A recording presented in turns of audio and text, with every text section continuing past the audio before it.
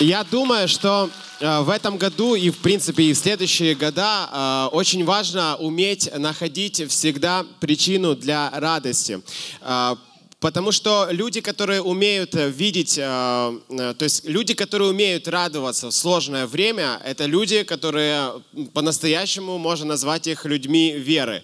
Знаете, вот чем отличается человек веры от людей, которые, ну, как бы не, не верят, да? Потому что человек, который не верит, он смотрит на все видимыми ну, обстоятельствам, видимыми глазами, то, что он видит, он на это смотрит, и он воспринимает это как факт. И поэтому ему очень сложно найти причину для радости. Вот, к примеру, любая ситуация, которая с вами происходит, можно воспринять ее очень негативно, негативную ситуацию. Ее можно воспринять негативно и не увидеть в ней никаких причин для радости. К примеру, у вас закончились деньги, и что происходит? Вы начинаете грустить, потому что вам нечем платить э, за коммуналку. И вы начинаете грустить, о Боже, нет денег, и потом приходят еще и другие мысли.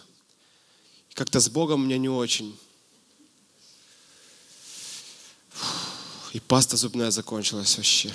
То есть, и приходит очень много мыслей, которые вводят вас в такое негативное состояние. И результатом этого становится уныние, которое приводит вас в депрессию, которое э, приводит вас в состояние полной апатии, духовного, ну, духовной деградации. Но как думает человек, э, который ве, человек веры, когда к нему приходит э, мысль, типа, закончились деньги, э, знаете, что думает человек веры? Он, он думает так – Какая причина для радости? Причина в том, что, значит, откроется какой-то новый источник дохода, который будет намного больше, намного лучше. То есть это значит, что это твой следующий уровень для благословения. То есть значит, что если закончился один канал, представьте, то будет что-то другое, это будет необычное. И чем сильнее э, обстоятельства, чем оно сложнее, тем больше славы Божьей можно увидеть в этих обстоятельствах. Представьте, э, если у вас, э, то есть если умирает Лазарь, то, то есть великое чудо, когда он воскрес. Слава Божья, это чем, да, допустим, когда нос заложило, и вдруг он э, перестал быть заложенным. И вот чем сильнее обстоятельства, чем сильнее сложность, тем ну, больше, большее чудо мы можем увидеть. Причину для радости можно найти только благодаря вере. То есть вы не можете ее найти просто вот э, там, знаете, э, как-то так, что можно придумать здесь. Нет. Причину для радости мы можем найти только благодаря вере, потому что вера, она видит невидимое, она смотрит э, туда, куда другие люди не могут проникнуть, она видит ответ там, где находится стена. Поэтому Иисус сказал, что праведник мой будет жив благодаря своей вере. Братья и сестры, в этом году есть много причин для радости. И одна из причин, потому что Иисус все еще с нами. Он не оставил и не покинул нас. Он готов э, сражаться вместе с нами. Вопрос, что происходит в нашей голове? Вот, здесь, обновлен ли наш разум. Поэтому ставьте себе цель в этом году, если вы чувствуете, что вы очень много находитесь в негативном состоянии, и вы уже дошли до того, что любую мелочь вы воспринимаете очень негативно, ставьте себе цель в этом году перестать быть негативным человеком и стать человеком радости, человеком веры, вот так даже можно сказать. Начать видеть сквозь э, трудности, сквозь обстоятельства. Потому что в этом заключается смысл нашего хождения перед Богом. 2020 год. Я хочу немножко подвести э, итоги, кстати, всех с наступившим 2020 и 2021. Знаете, а лучше поздравить, наверное, всех с отступившим 2020 годом. А, потому что э, год был э, такой своеобразный, очень он был интересный, э, специфический местами. Я бы хотел подвести, знаете, такой итог того, что было у нас в 2020, что произошло за 2020 год, и немножко кратко поделиться планами или то, что мы чувствуем, э, мы, ну, ну, нужно сделать в 2021 году, куда мы будем направляться с вами, помимо того, что у нас уже есть. Итак, э, немножко, э, как бы краткая история. Начало 2020 года, то есть мы собирались здесь, вы помните, большим, у нас было много, много людей было, и мы думали уже о том, чтобы переезжать в зал – ну, в другой зал. Мы уже начали, представляете, искать. То есть у нас были планы вот именно касательно переезда, касательно нового здания на тысячу мест, то есть больших конференций. Ну, вот такие были у нас планы. То, что, то, есть, то, что мы чувствовали. И мы уже, представляете, начали искать, уже ходили там, э, собирались с командой нашей, ездили в разные места по Киеву, смотрели уже там помещения, э, молились об этом. А, то есть все было как бы интересно, все было как бы хорошо. Все планировалось к тому, что мы уже должны переезжать, потому что зал был так, что даже люди уже стояли, а, не было мест, где сесть. И тут, а, как, нет, салют. А, и тут, знаете, вот почему, да, Иаков пишет, что э, надменность заключается в том, ну, мы не, мы не решим, мы надменны, мы как бы как чувствовали, так и действовали, да, верой. Но я говорю за надменность в плане того, что когда человек говорит, «Э, завтра пойду в такой-то город и куплю себе такие-то брюки. Вот ты не знаешь, что будет завтра. Ну, реально. Вот это надменность перед Богом. Лучше говорить, если Господу будет угодно и живы будем, то пойдем и купим себе брюки. А, потому что все в руках Божьих. Так вот, наступил а, карантин, полная изоляция. То есть, а, и знаете, это то, что произошло вообще во время 2020 года со всеми церквями, вот я вам хочу сказать, что мы в этом времени вышли победителями. Я вам объясню почему. Вот, то есть вы увидите, почему, э, то есть время, то есть как бы карантин или то, что произошло, ситуация, которая должна была разрушить церковь, она укрепила нас и сделала намного сильнее, и мы сделали еще намного больше, чем даже хотели сделать. И все благодаря Господу и нашему вместе с вами единству и работе. Потому что когда наступил полный э, локдаун, то есть когда закрылось все, представьте, то есть наши планы, то есть новый переезд, новое здание, то есть то, о чем мы думаем, расширение домашних групп, э, то есть то, о чем мы молимся, то, о чем... И тут как бы приходит, э, то есть вообще кардинально противоположная ситуация, то есть прямо перпендикулярно, прямо, короче, то есть параллельно, неважно, я в геометрии, знаете, это не мой предмет, как и все остальное, какие там существуют. В общем, на, ситуация зеркальная, противоположно. Вообще все по-другому. Представляете, нам надо все менять. Как бы что менять? Все менять. А что все менять? И вот люди по домам, нельзя никуда ехать. То есть мы, значит, остаемся, значит, командой, и есть церковь, которую мы не можем увидеть. Вот представьте наше состояние. Мы не можем увидеть нашу церковь.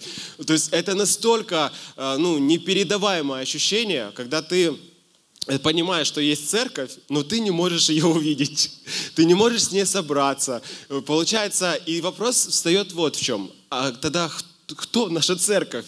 Ну, типа, где, где наша церковь? Где эти люди? А, и мы, конечно же, благодаря домашним группам, то есть большое, здесь хочется сказать спасибо всем нашим наставникам, всем, кто здесь, те, кто смотрит нас, вам большое спасибо за то, что вы оставались верны Богу, вы оставались верны людям, потому что благодаря вот непосредственно работе наших наставников, э, групп, э, вот получилось, что ну, церковь, она укрепилась, а, и продолжила свое такое существование. Поэтому большое спасибо. Я уверен, что Бог видит э, тот труд, который мы совершаем, и Он обязательно воздаст всем вот, за то, что мы остаемся Ему верны. Так вот, э, приходит карантин, наши планы, наши мысли, что делать. И, конечно же, первое, о чем мы думали, мы думали о том, что э, если дьявол попытался остановить нас офлайн, ну то есть как бы мы не можем собраться, то, конечно же, нужно быстро перестроиться. И поэтому мы начали делать э, прямые трансляции. И э, вот э, статистика по, по прямым трансляциям за полгода, которые вот у нас были, вот эти вот смена, быстро перестроиться, нам удалось выйти в топ-10 э, в YouTube-канале каналов э, э, по численности среди русскоязычных церквей. То есть мы заняли одну из э, сильных позиций, потому что люди начали подключаться, нас начали смотреть, люди начали смотреть наши передачи. Оказывается, люди хотят сверхъестественно, и многие писали, мы так долго ждали, когда вы появитесь наконец-то онлайн. И вот мы, привет, вот мы и онлайн. Но э, могу сказать, что благодаря тому, что мы вышли в онлайн-служение, у нас э, мы это еще не официально, то есть мы еще не объявляли, потому что мы еще в стадии подготовки, об этом я расскажу. Uh, у нас uh, прибавилось к, на, к нашим онлайн-группам. Как это было? Я просто все рассказываю, чтобы вы знали, как это происходило. Мы подумали, так, нужно бы открыть онлайн-группу, одну. Вот, чтобы туда, как, может, человек 20 подключилось, кто захочет. И uh, будем с ними общаться, будем их поддерживать, там, ну, с разных стран, кто нам, наше служение любит. И мы говорим, ребят, в общем, открывается онлайн-группа, кто хочет, там, присоединяйтесь. Мы думали, ну, 20, там, 30 человек. 400 человек вот, э, присоединилось к онлайн-группам. И сейчас это еще мы не выходим э, дальше, потому что нас сейчас очень много людей смотрит, и э, это план на 21 год, мы о них немножко поделимся. Но служение очень сильно распространилось и разрослось, и я думаю, что сегодня у нас много э, братьев и сестер, которых мы уже заочно знаем, находятся в разных странах, э, в разных местах э, уголка этого мира уголка этого мира. Есть такое слово в русском языке? Надеюсь, да. А, так вот, э, дальше, когда наступил карантин, что мы еще с вами сделали, что очень здорово и очень приятно, мы поняли, что люди сегодня находятся в трудном состоянии, в кризисе, у них нет финансов, и поэтому мы быстро помолились, там попробовали наладить, э, в общем, э, общение с нашими братьями и сестрами, кто находится в нужде, выписали списки этих людей и приняли решение, что мы будем помогать этим людям э, продуктовыми пакетами, продуктовыми наборами на сумму там, там 500 гривен у нас была цель. А, и благодаря нашей с вами работе мы смогли помочь больше 70 человекам, э, людям, как это слово, 75 человек мы смогли привести им на дом, когда был карантин, когда никто не мог прийти, никто не мог приехать, никто не мог выйти а, куда-нибудь, что все был полный локдаун. Наши ребята, наша молодежь на велосипедах развозили продукты. Вот, представляете? Э, там по большому количеству километров они гоняли на велосипедах, кто-то машинами подключался, но нам удалось достичь людей и помочь им э, продуктами, что также является важной частью церкви. Почему важно быть церковью? Потому что мы знаем о каждом из вас на самом деле. Вот кто, вы думаете, мы как бы не знаем, но мы знаем, потому что мы имеем плотную связь с наставниками групп, они имеют плотную связь с вами, мы постоянно общаемся, мы знаем списки, мы знаем людей, мы знаем, кто в чем нуждается. Поэтому, когда приходит сложность, мы молимся и принимаем какое-то решение, чтобы поддерживать церковь. Поэтому это тоже хорошо. Давайте за это поаплодируем Господу. Представьте, конечно, мы хотим больше делать, намного больше, но это то, что нам удалось сделать в 2020 году. А, вот. И самое такое одно из э, интересных вещей, мы ну, приобрели часть оборудования для нашей студии. Вот. У нас э, есть оборудование теперь, и мы начали уже улучшать качество эфира для того, чтобы ну, было намного лучше и интереснее, и качественнее смотреть э, наши трансляции. Но давайте, и да, еще одно, забыл один нюанс сказать. Э, за время карантина вот, э, мы получили свыше тысячи свидетельств людей, которые мы только вот зафиксировали, э, которые каким-то образом увидели чудо в своей жизни. Исцеление, спасение, освобождение, финансовый прорыв. Я помню, мы как-то помолились э, о том, чтобы, помню, вот было такое ощущение, помолиться за то, чтобы 500 евро, вот почему такая сумма была, э, пришло людям, приходило 500 долларов или 500 евро, не помню, среди недели. Представляете, мы помолились, и люди начали писать там, все, у нас там по 500 долларов приходит, люди с разных мест писали, вот прям такая сумма, 500 долларов. Очень много, представьте, свыше тысячи свидетельств людей, которые пережили ну, славу Божью, увидели славу Божью. У нас очень ценная работа, братья и сестры. Очень ценная. А, ну вот, э, это кратко. Конечно, много всего не расскажешь, но мы молчим уже за лес, в котором мы собирались, как партизаны. А, то есть по воскресеньям, да, в субботу здесь, партизанском парке партизанской славы мы собирались по воскресеньям. И, то есть, что может остановить церковь? Никто не может ее остановить. Ну вот представьте, не было бы здания, сейчас бы были бы в интернете. И не было бы интернета, пошли бы в парк. В лес пошли бы зимой. Ничего невозможно остановить. Потому что, знаете, Бог всегда имеет видение для церкви, имеет выход. И мы, как люди Божьи, мы молимся, чтобы понимать Его видение, Его водительство. Теперь коротко я расскажу о планах на 2021 год, чтобы вы знали, куда мы направляемся. И э, помолимся. Я передам э, микрофон старшему пастору Дмитрию, он поделится словом о Божьей воле. А, то есть помимо того, что у нас уже есть, а, и того, что уже было озвучено, одно из направлений, которое мы ощущаем сегодня очень важно реализовать, а, это, конечно, медиа служение. Конкретно мы говорим за все, что связано с интернетом. Вот вам немножко статистики. В мире проживает 7 миллиардов 700 миллионов человек, приблизительно. Из них 4 миллиарда 500 миллионов являются пользователями интернета это почти все. Ну, как бы, это а очень огромная часть. Если раньше интернет воспринимался как что-то такое субкультурное, там не у всех он был, не для всех, не все могли подключиться, поднимите руку, кто не использует интернет. Можно таких людей увидеть? Вот видите, я же говорил.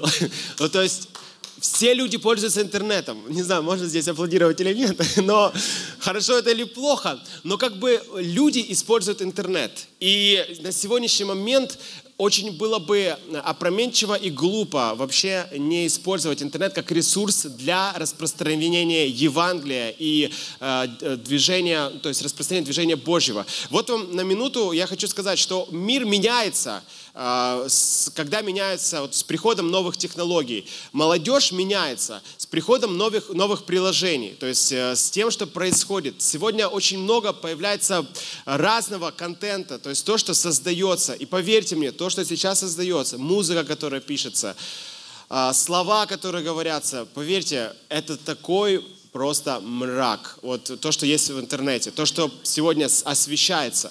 И поэтому, если мы с вами сегодня опустим руки, и мы не будем использовать интернет как площадку для благовестия, и для того, чтобы э, приносить правильные ценности и оставаться столпом утверждения истины, то люди, поверьте, они не будут вообще рассчитывать на альтернативное мнение. Вспомните Моисея, когда он пришел, он бросил посох, э, вернее, там были змеи, которые, э, короче, бросил посох, и появилась змея. И жрецы тоже бросили посох, и у них тоже появились змеи. Но вот э, змея Моисея пожрала змей этих жрецов, потому что это было Божье, это как бы, знаете, прообраз Божьей силы. То, что сегодня мы можем делать, то, что у нас сегодня есть, и то, как мы можем использовать интернет, я верю, что мы можем намного сильнее повлиять вообще на людей, чем то, что сегодня преподносится мирскими людьми. Поэтому нам обязательно и очень важно сегодня вещать в интернет, выходить в интернет, проповедовать в интернет и, конечно же, улучшать качество трансляций. Поэтому то, что мы планируем запустить, в первую очередь нам очень хочется запустить полноценную студию. Пожалуйста, молитесь об этом. А, студию, в котором у нас мы сможем поставить оборудование, то есть сделать локации для съемок, чтобы это было качественно. А, сегодня YouTube это как телевидение. Вот я не побоюсь этого слова. Люди смотрят YouTube, как э, раньше все смотрели телевизор, сейчас все люди почти смотрят YouTube. И это в первую очередь бесплатно. Нам не надо платить за, скажем так, спутники, там, антенны и все остальное. А, потому что интернет, YouTube это бесплатная платформа, где мы можем вещать с огромным количеством людей, которые его ежедневно смотрят. Поэтому нам очень важно сейчас э, построить, оборудовать студию. Пожалуйста, молитесь об этом, поддерживайте нас. Это наша цель, чтобы организовать и устроить студию. А, для того, чтобы повысить качество прямых эфиров, качество трансляций и так далее. Следующее, это мы, мы, мечтаем, и то, что мы планируем, это начать поднимать людей в медиакоманду. А, то есть, потому что э, это знаете, работа с монтажом, с видеомонтажом, работа с дизайном, то, что вы видите, картинки, которые вы видите, э, э, то, как, когда вы смотрите YouTube, монтаж, то есть вот это все, это работа медиакоманды. И э, мы уже запустили э, как бы предложение людям, которые нас э, смотрят в интернет, и уже есть люди, которые хотят присоединиться к нам, чтобы ну, вместе с нами служить удаленно в, в тех местах, где они есть. И поэтому наша цель сейчас поднять сильную, то есть медиакоманду для работы в, с, в общем, видео и с каналом в целом. У нас были качественные трансляции, качественное э, производство видео. Э, дальше наше, одно из наших желаний – это улучшить э, систему образования. То есть мы в этом году ее запустили. У нас уже проходят онлайн-школы.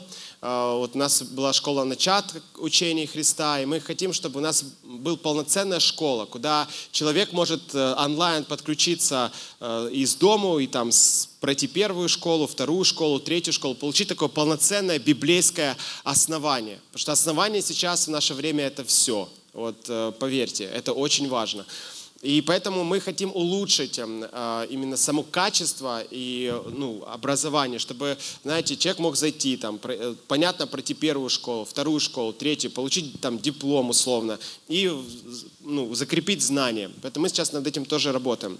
У нас это будет запущено, можно сказать, такой университет или как институт э, духовный, онлайн, христианский онлайн-институт. И вот дальше что? Э, запустить разного рода рубрики, охватывающие все поколения, начиная от молодежи, заканчивая взрослыми людьми. У нас много связей с разными пасторами, и мы хотим приглашать их, чтобы вместе с ними э, задавать им вопросы относительно, знаете, там, их понимания, потому что у Бога для каждого есть, э, у каждого из пасторов есть какие-то особенные дары, понимания, видения. И, конечно, мы хотим приглашать разного рода Божьих людей, чтобы с ними и общаться, и помимо всего всего этого выпускать еще разного рода э, видео, чтобы охватывать все, э, всех, э, все категории, все возраста. И а, последнее скажу и закончу. Вот, планируем также запустить евангелизационные инструменты, инструменты для евангелизации. Потому что идея заключается вот в чем – у нас есть большие охваты, то есть люди нас смотрят, и смотрят неверующие люди также. И нам очень хочется, чтобы эти неверующие люди, э, попадая к нам на видео, они произносили молитву покаяния, каялись, потом присоединялись к нашим онлайн-группам, становились христианами и у себя в странах или в городах открывали домашние группы. Это то, куда мы планируем прийти. И это то, что мы хотим сделать. Сейчас мы молимся о том, чтобы увидеть, какие инструменты нам необходимы для того, чтобы это запустить. Сегодня я уверен, что, знаете, Бог, Он хочет, чтобы у нас была полноценная студия, и чтобы мы из, из нее вещали на весь мир и распространяли Божье Царство. Такие вот планы. Давайте об этом помолимся. Помимо того, что у нас есть, помимо нашей церкви здесь, у нас э, то, что мы уже говорили, э, это еще как бы дополнение к видению, э, то, что мы чувствуем, нужно сделать. Отец, благослови а, всю эту работу. Спасибо тебе, что ты ведешь нас. Спасибо, что в следующем году, то есть в этом году, вернее, мы увидим а, прорыв во всех сферах. Спасибо, что мы увидим все это, то, о чем мы сейчас говорили. Спасибо за студию, за новую студию. Спасибо тебе за то, что видео, которые будут ну, производиться, они будут э, влиять на миллионы людей. Мы хотим, чтобы то, что мы делаем, оно влияло на миллионы, чтобы миллионы людей смотрели эти видеоролики. Мы молимся о том, чтобы ты использовал нас как инструмент в своих руках. Благослови э, всю эту работу. Благослови нашу церковь. Спасибо тебе за нашу церковь, Иисус. Спасибо тебе, что ты с нами. Это правда чудесно. Ты так много сделал. Спасибо тебе. Аминь. И еще последнее скажу.